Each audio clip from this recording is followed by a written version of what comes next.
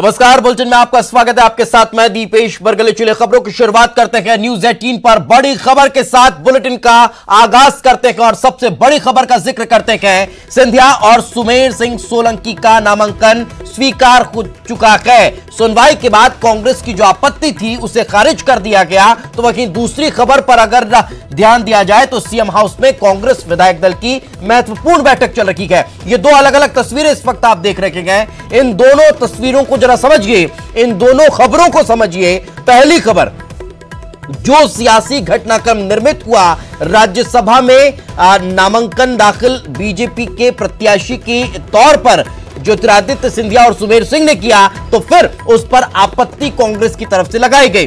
उस आपत्ति पर सुनवाई हुई उसे खारिज कर दिया गया। तो वही विधायक दल की बैठक लगातार सीएम हाउस में चल रही है। आगे बढ़ते हैं और सबसे बड़ी खबर का पहले ज़िक्र करते हैं। आपको बता दें, सिंधिया और सुमेर सिंह सोलंकी का नामांकन स्वीकार कर लिया गया है। कांग्रेस की आपत्ति को खारिज कर दिया गया।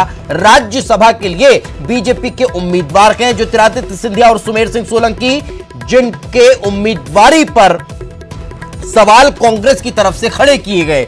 सवाल खड़े करते हुए आपत्ति दर्ज कराई गई और उसमें इस बात का ज़िक्र किया गया कि जो नामांकन फ़ाइल किया गया, जो हलफनामा दिया गया, उसमें कहीं भी ज्योतिरादित्य सिंधिया ने अपने ऊपर चल रहे कई मामलों की जानकारी नहीं दी गए जो लंबित मामले हैं, उनके बारे में कोई इंफॉर्मेशन उस हलफनामे और नामांकन में नहीं गए ये उनके द्वारा कहा गया था आपत्ति में।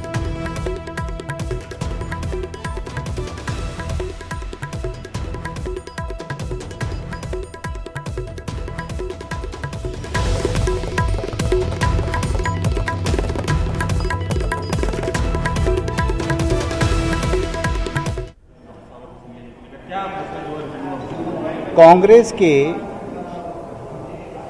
श्री दिग्विजय सिंह जी के द्वारा, सिंधिया जी और सुमेर सिंह जी के फॉर्म में जो आपत्तियाँ प्रस्तुत की थी, उन आपत्तियों को आज रिटर्निंग ऑफिसर जी ने निरस्त कर दिया है। जो सिंधिया जी के फॉर्म में मुख्य रूप से आपत्ति की थी, वो ये कि एक एफआईआर उनके खिलाफ हुई है, उसका हवाला उन्होंने अपने एफिडेविट में नहीं दिया है। सिंधिया जी की तरफ़ से ये कहा गया कि उस एफआईआर की उनको कोई विधिवत जानकारी नहीं थी, इसीलिए यह उन्होंने जानबूझ करके किसी तथ्य को नहीं छुपाया। और सिंधिया जी के तर्क को रिटर्निंग रिटर्निंग ऑफिसर जी ने मान्य किया है और दिग्विजय सिंह जी की आपत्ति को निरस्त किया है।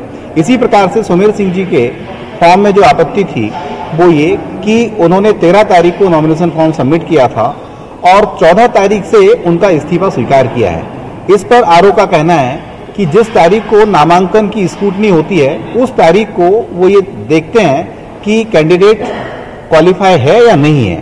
नॉमिनेशन की तारीख को सिर्फ़ ये देखा जाता है कि जो डॉक्यूमेंट्स हैं like the nomination form and the signature etcetera whether they are there और नॉट तो that has also been accepted both the forms are accepted sir आप कानूनी जानकारी सर 16 जो विधायक हैं कांग्रेस के उन्होंने सुप्रीम कोर्ट में जारी किया कि उनके स्पीच स्वीकार किया है। क्या चांसेस होंगे? क्योंकि बीजेपी पहले से सुप्रीम कोर्ट के अंदर प्रोटेस्ट की मांग कर रही है। नहीं कल सुप्रीम कोर्ट में सुनवाई है इस्तीफे को स्वीकार करना नहीं करना ये विधानसभा अध्यक्ष का पैरोगेटिव है लीगली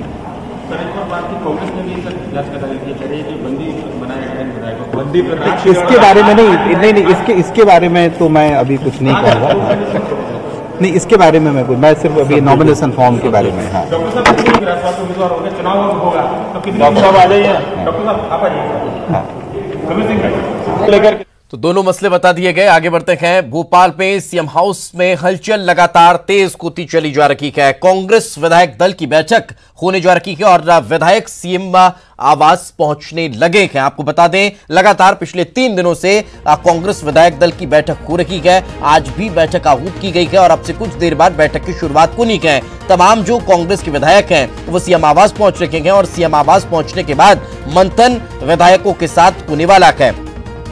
इस दौरान कांग्रेस के बड़े नेता और विधायक इस बैठक में शरीक हो रखे हैं, सिवाय उन 16 विधायक के।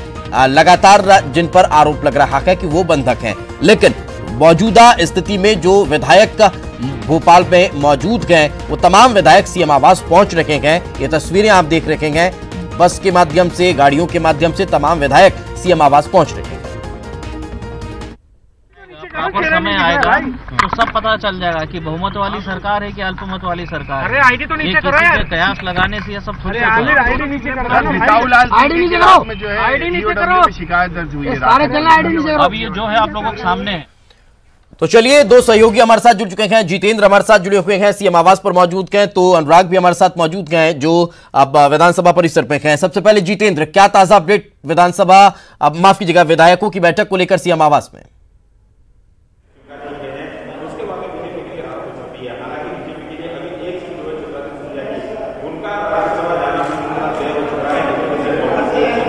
वो पहुँच चुके हैं और साथ ही प्रियवत सिंह मंत्री, ये पहुँच चुके लगातार और भी मंत्रियों का क्रम जारी है जो भोपाल में ठहरे हैं और अपने वाहनों से आ रहे हैं। लगातार अभी सीएम हाउस में हलचल बनी हुई है और विधायक दल की जो बैठक होनी है, उसमें सबसे मुद्दा यही है, सबसे बड़ा मुद्दा कि सारे विधायकों को एकजुट रखा जाए और इसी गृह मंत्री के साथ आज उन्हें अपने साथ फिर से सीएम के साथ डिनर रहेगा और डिनर के बाद फिर वो अपने होटल्स के लिए रवाना हो जाएँगे।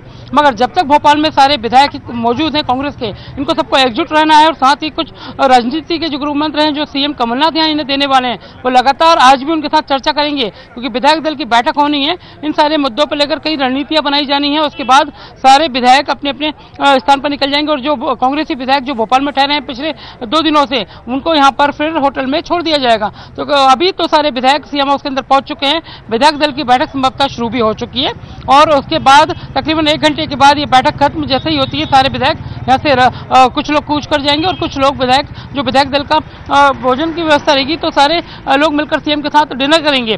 फ़िलहाल, अभी विधायक दल की बैठक के लिए सारे लोग अंदर पहुँच चुके हैं। कुछ इक्का दुक्का विधायक जो बचे, जो ल- लगातार पहुँच रहे हैं। आप बिल्कुल साथ में रखें अनुराग, हमारे साथ जुड़े हुए हैं। अनुराग का एक बड़ा झटका एक बार फिर कांग्रेस को लगा। सवाल ये कि क्या कांग्रेस ने जल्दबाजी में बिना तैयारी के ये आपत्ति दर्ज करा दी थी या फिर वक्त वाकई में अभी बीजेपी के साथ चल रहा है? देखिए, एक तरीके से मनोवैज्ञानिक लड़ाई भी प्रदेश में चल रही है। सियासी जंग तो जारी है, लेकिन मनोवैज्ञानिक जंग भी जारी है। और इसी के तहत मनोवैज्ञानिक तरीके से एक प्रेशर बनाने के लिए कांग्रेस के नेताओं की तरफ़ से आपत्ति जताई गई थी। हालाँकि आपत्ति सीधे राज्यसभा में कांग्रेस के उम्मीदवार दिग्विजय सिंह की तरफ़ से जताई गई थी। और ये कहा गया था कि जो नॉमिनेशन फॉर्म फ़ाइल किया गया, उसमें ज्योतिरादित्य सिंधिया और सुमेर सिंह सोलंकी दोनों ने कुछ जानकारियों को छुपाया है। लेकिन इस पूरे मामले को लेकर आज सुनवाई हुई थी और बीजेपी की तरफ़ से पुरुषोत्तम कौरव जो उनके वकील है, वो भी शामिल हुए थे और उन्होंने अपने तर्क दिए थे और इस बात को लेकर कांग्रेस और बीजेपी के वकीलों के बीच में बहस भी हुई थी और अब जो है, रिटर्निंग ऑफिसर है, जो कि विधानसभा के सचिव होते हैं, उन्होंने इस पूरे मामले को लेकर सुनवाई की और अब जो कांग्रेस की आपत्ति है, दिग्विजय सिंह की जो आपत्ति थी उसको खारिज कर दिया और दोनों ही उम्मीदवारों के नॉमिनेशन को स्वीकार कर लिया गया यानी कि जो आपत्तियाँ दिग्विजय सिंह की तरफ़ से जताई गई थी कि ईओडब्ल्यू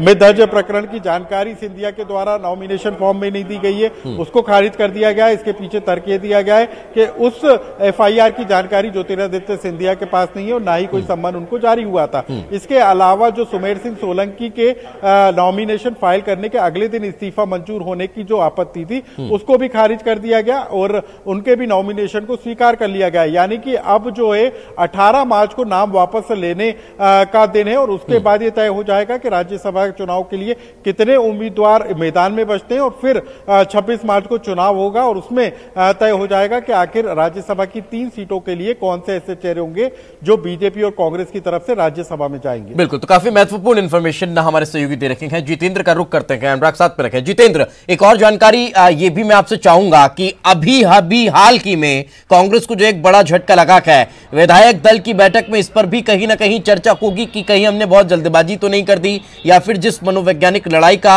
अनुराग ज़िक्र कर रखे हैं, उसमें थोड़ा सा पिछड़ती हुई कांग्रेस नज़र आ रही है, इस पर भी थोड़ा मंथन होगा?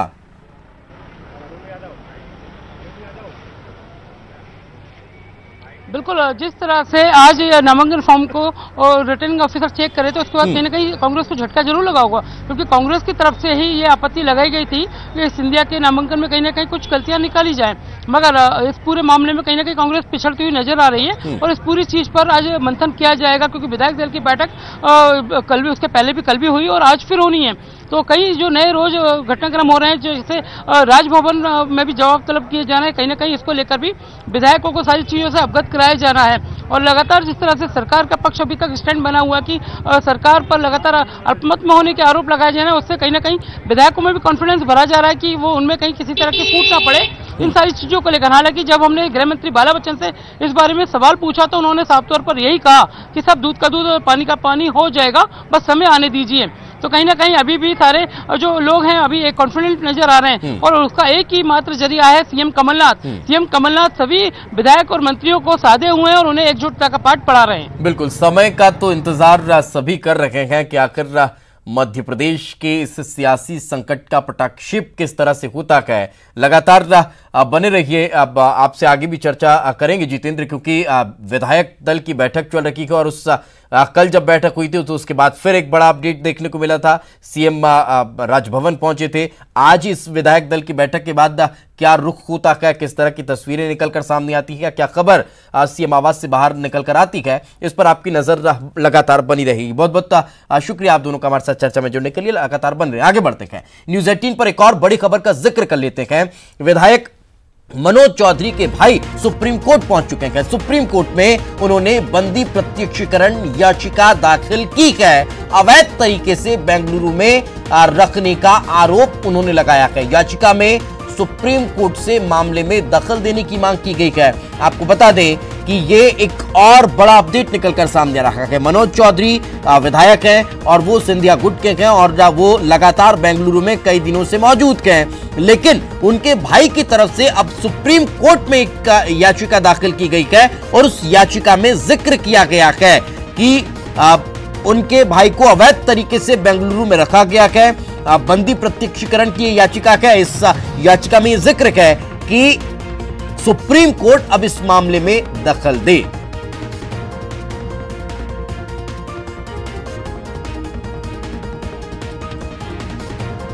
पंद्रह मिनट में फैसला हो जाता। लेकिन पता है कि संख्या बल उनके पास नहीं है। भारतीय जनता पार्टी के पास उपलब्ध विधायकों की संख्या के आधार पर स्पष्ट बहुमत है। कांग्रेस हमसे बहुत पीछे है। और इसलिए अब टाइम काटू कार्यक्रम चल रहा है, इसलिए गवर्नर के दो दो बार 16 तारीख को विश्वास मत हासिल करें, फिर पत्र लिखा 17 तारीख को करें। ये सरकार विश्वास मत हासिल नहीं कर रही। ये जानती कि ये अब गए काम से है। लेकिन लगातार नियुक्तियाँ की जा रही संवैधानिक पदों पर। युवा आयोग, महिला आयोग अलग अलग आयोग के अध्यक्ष बनाए जा रहे हैं। विद्युत नियामक आयोग बनाने की तैयारी के अध्यक्ष बनाने की तैयारी हो रही है। लेकिन इसके साथ साथ ये समय इसलिए भी ले रहे हैं कि डर, भय, प्रलोभन तो इतना घटिया स्तर कि जो विधायक हमारे हैं, हमारे साथ किसी का काम धंधा नष्ट कर देंगे, किसी पे केस लगा देंगे, किसी की एफआईआर कर देंगे, बिज़नेस व्यापार चौपट कर देंगे, घटिया स्तर पर उतर आई है। और मुझे पता है कुछ अधिकारी पूर्व मुख्यमंत्री शिवराज सिंह चौहान को इस वक्त आप सुन रहे थे, जो लगातार कांग्रेस पर आरोप लगा रहे हैं और आगे भी पल पल की अपडेट हम आप तक पहुंचाएँगे। छोटे से ब्रेक के लिए रुकते हैं।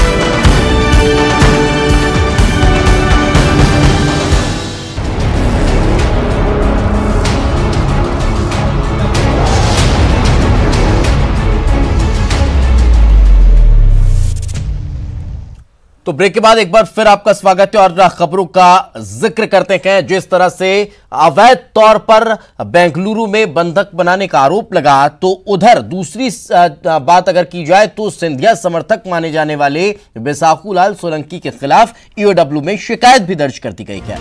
विधायक पर बीपीएल कार्ड बनाकर गरीबों का राशन लेने के आरोप लगाए गए हैं।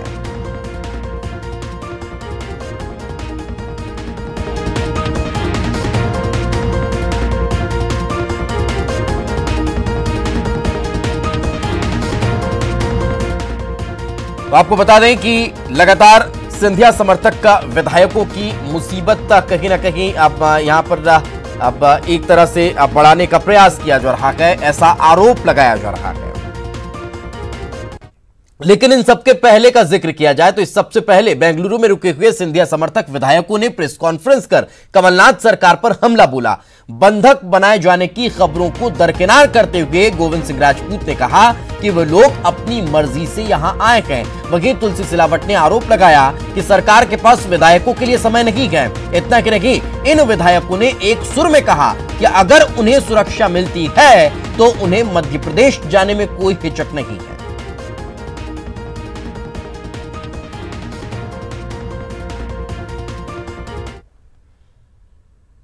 मध्य प्रदेश की सियासत को लेकर कल सुप्रीम कोर्ट में फिर सुनवाई होनी है। ऐसे में न्यूज़ एटीन ने राज्यसभा सांसद और वरिष्ठ अधिवक्ता विवेक तनखा से खास बातचीत की।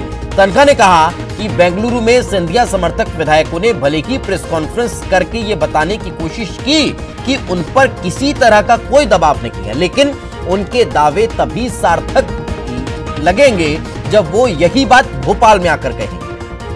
वरिष्ठ अधिवक्ता और कांग्रेस सांसद विवेक तनखा मेरे साथ है। सर आ, आज तो सुप्रीम कोर्ट में कांग्रेस चली गई। आ, कल सुनवाई होनी है। आप भी शाम को चले गए। आप लोगों ने भी रेट डाल दी और उधर जो सोलह विधायक है उन्होंने भी रेट डाली। तो कल क्या होगा? सर इतनी रेट्स हैं अलग अलग देखिए सुप्रीम कोर्ट सबको सुनेगी। सबसे बड़ी बात तो ये है। कांग्रेस का कहना है कि ये जो फ्रैक्शन टूट टूट टूट के गया है ये वो दो तिहाई तो नहीं है। तो इसको, इनको रिकग्नाइज करके राज्यपाल जी इसको मुद्दा नहीं बना सकते थे as per constitution number two कि इन्होंने किसी ने कांग्रेस तो छोड़ी नहीं है। तो आज भी ये कांग्रेस में है और त्यागपत्र वो अपने एमएलए शिप से दे रहे हैं। तो इनकी कॉन्स्टिट्युएंसी का क्या होगा? मैंने कॉन्ट्रोडिक्शन है इसमें, पूरे इस केस में। बीजेपी का कहना है कि त्यागपत्र आपको भिजवा दिए गए हैं। तो आप इनको एक्सेप्ट करिए। वो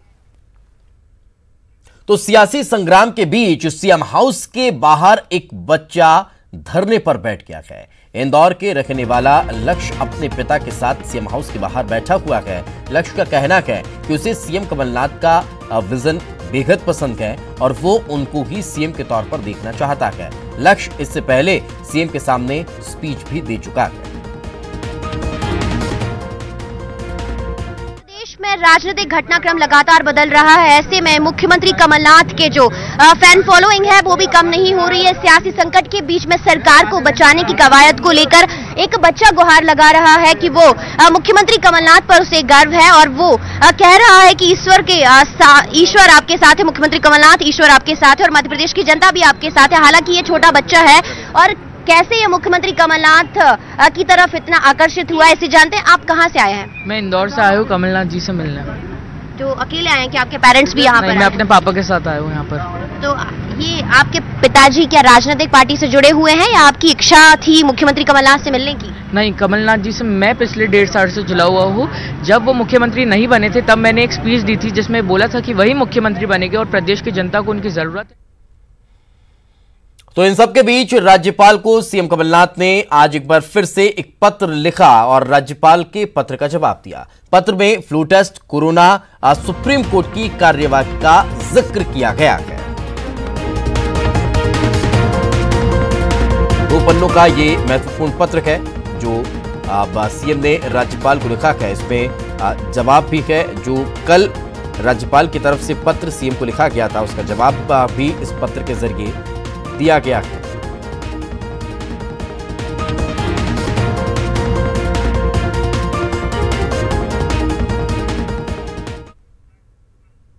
और इसी के साथ, इस बुलेटिन में फ़िलहाल इतना ही। छोटे से ब्रेक के लिए रुकेंगे। ब्रेक के बाद भी खबरों का सिलसिला लगातार जारी।